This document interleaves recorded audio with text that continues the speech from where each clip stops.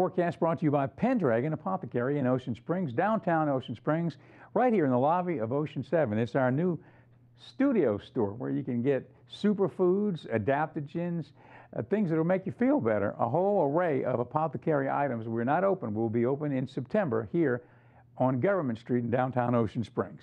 Well, let's take a look. The tropics, we've got a lot of activity, nothing threatening the U.S. at this time, so that's good news. We'll have more updates over the next few days on that. Meanwhile, we've got a little area of low pressure across our region, across the coastal area, and that will keep the chance for showers in our forecast over the next few days pretty high. Afternoon, summertime like storms, this low pressure area enhancing the possibility of showers.